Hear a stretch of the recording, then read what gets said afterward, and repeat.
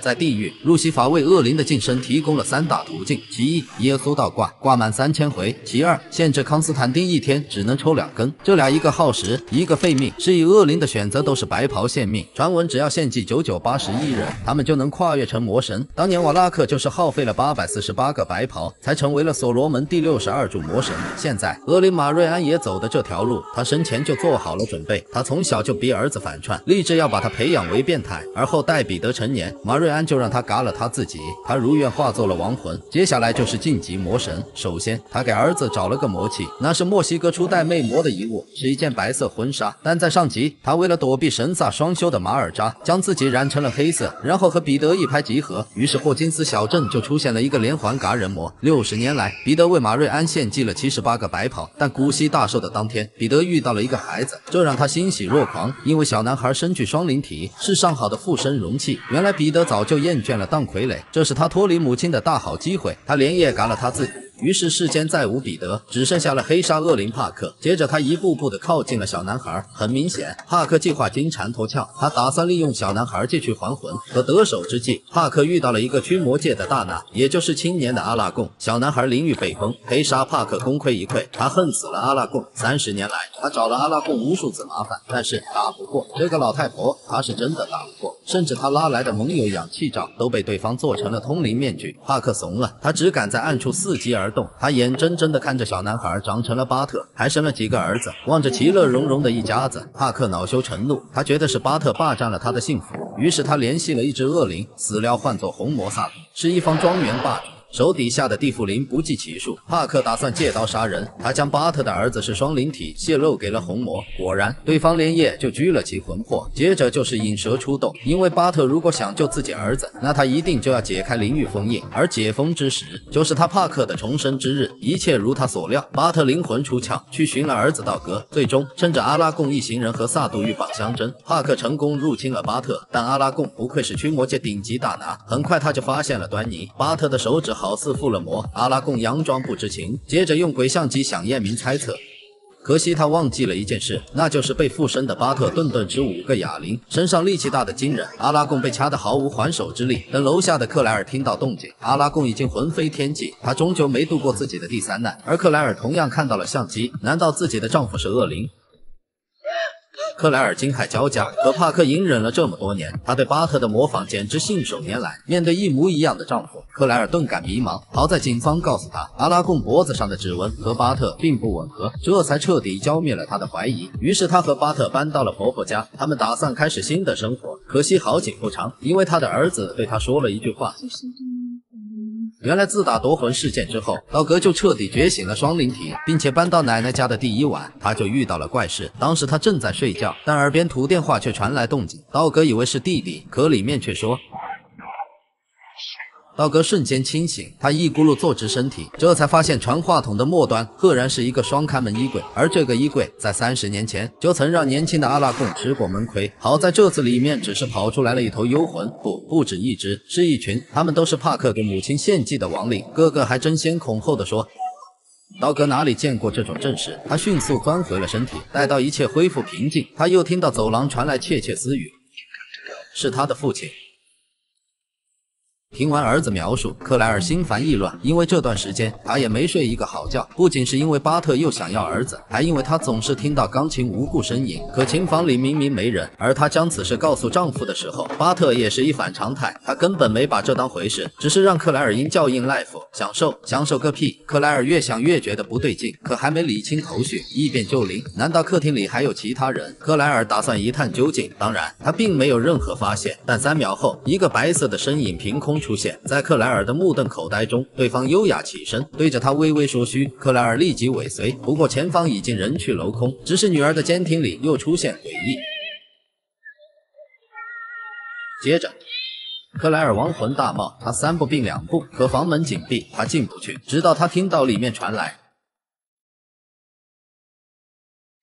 女儿被欺负，克莱尔心急如焚，他一把撞开了门，可婴儿床上竟没人，六神无主之际。克莱尔直奔楼顶，在拐角。克莱尔虽然被吓得不轻，但他现在一心找闺女，根本无暇恐惧。不过，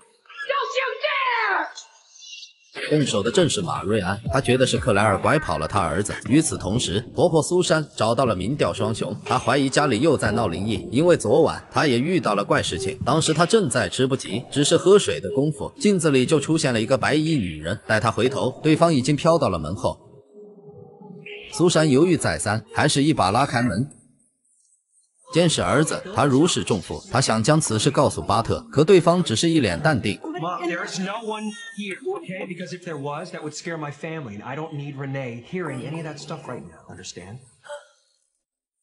听完苏珊的描述，民调双雄一脸凝重。半小时前，他们玩过一场游戏。输的人需要打头阵，因为阿拉贡的驱魔办公室，他们也是第一次进。在那里，他们不仅看到了各种驱魔战利品，更重要的是，熊二还找到了一卷磁带，里面记录了巴特的第一次驱魔。而诡异的是，录像带调高亮度之后，隐约可见一人影，其形还酷似巴特。眼前的一切让三人细思极恐，他们立即联系了一个人——梅尔布吉桑，阿拉贡大师兄，当年巴特双灵体事件的参与人。虽然实力不及师妹，但一手占卜术玩的是出神入化。他们打算用骰子做媒介。向阿拉贡寻求帮助。随着骰子的跳动，房间的磁场也出现了波动。很明显，他们成功链接到了阿拉贡。梅尔迅速追问师妹谁是凶手。梅尔继续询问凶手在何处。望着骰子的回复，苏珊若有所思。因为圣战天使是一家医院，他曾经就是那里的主治医师。锁定凶手位置后，四人马不停蹄。但刚到此地，梅尔就隐隐感到不安。他的灵觉在疯狂预警，尤其是经过了一扇门。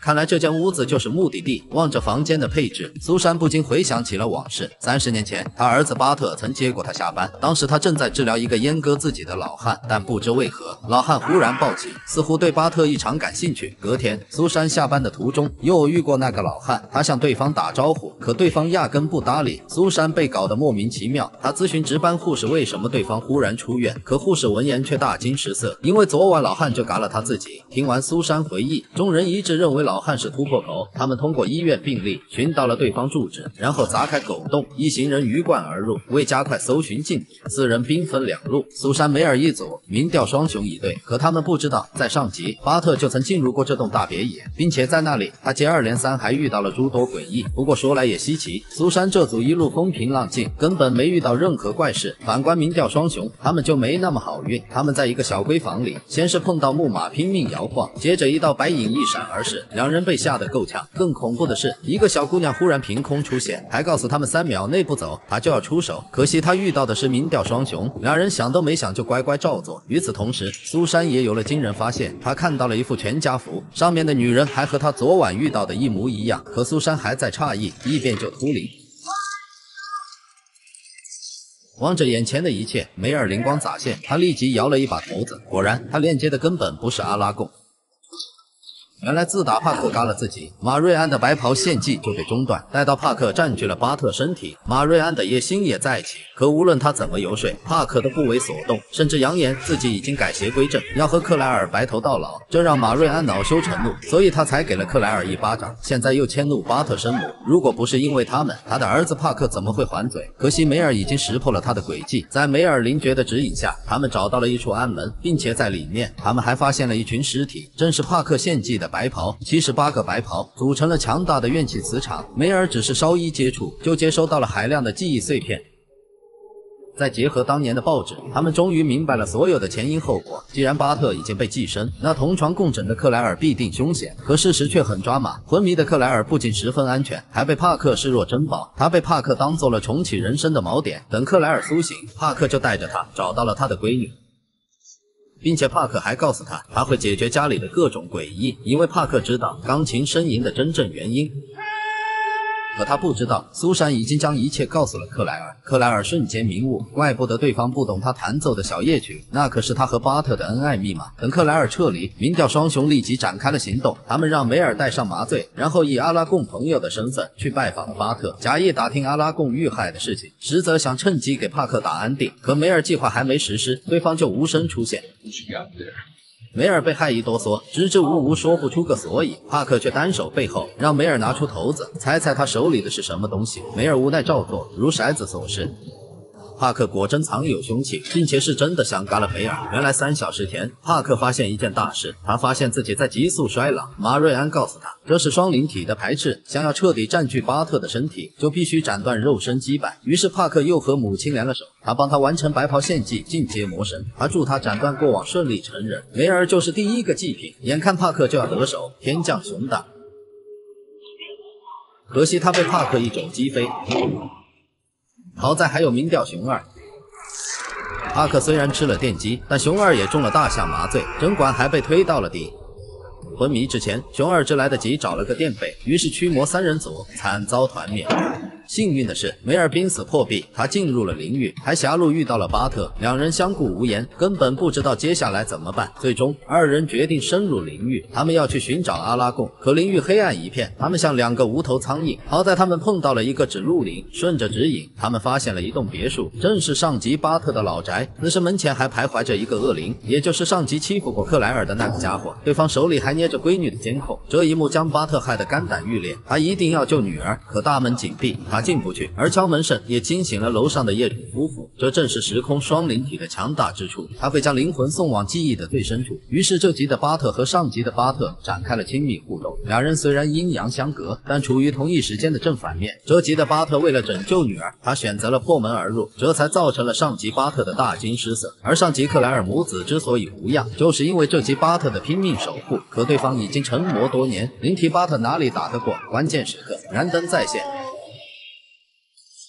出手的赫然就是下线多时的阿拉贡，三人会合。阿拉贡告诉二人，他被偷袭之后拒绝了飞升天国，而是冰解化灵。他决定复仇，并且他还找到了自己母亲，也就是他手里的那盏灯。他的母亲是燃灯器灵，只不过因为上级帮助阿拉贡，如今正在沉睡。阿拉贡告诉巴特，为今之计，他们必须回到过去扼杀当年的帕克。于是时间线来到了三十年前，中年巴特链接到了幼年巴特，然后借助小巴特的指引，他们去寻了帕克。至此，巴特灵。灵体与实体的时间线产生闭合，而在门后，阿拉贡一行人则进入了一栋老房子，在那里，他们遇到了年幼的彼得。此时的他刚开始反串，正在被马瑞安培养成变态。望着眼前的一切，阿拉贡三人大概明白了帕克的遭遇，但马瑞安不愧是半步魔神，他很快就发现了不对，竟然隔着时空反向出手。阿拉贡和梅尔被喝退，巴特则成为了瓮中之鳖。他被一群白袍包围。马瑞安告诉他，他有三次机会，如果三次内能掀开他的盖头，他就饶过巴特一次、两次、三次。当然，马瑞安只是说笑而已。他计划将巴特格杀于时间长河。与此同时，红门又多了个访客，是双灵体道格。半小时前，因为联系不上民调双雄，克莱尔和婆婆回到了屋子，在那里，他们遇到了守株待兔的帕克。此时的帕克凶相毕露。他为了自己能活命，准备大开杀戒，可母女俩跑太快，他的手被夹住了门板。但这种痛却让帕克兴奋到沉沦，因为越痛越能证明他是人。于是他追杀的愈发卖力。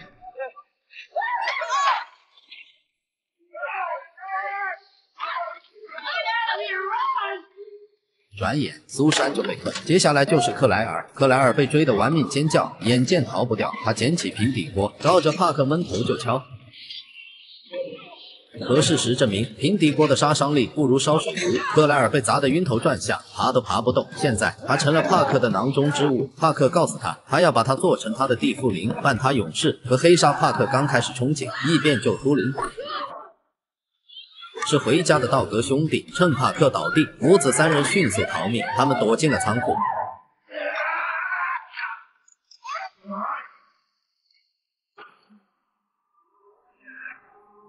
反锁好拉链后。